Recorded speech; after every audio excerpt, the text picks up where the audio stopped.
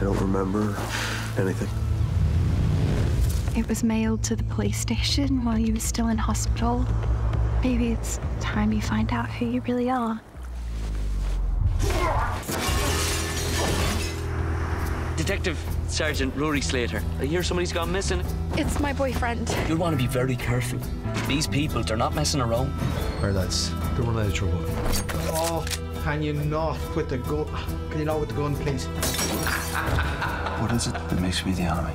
I need to know.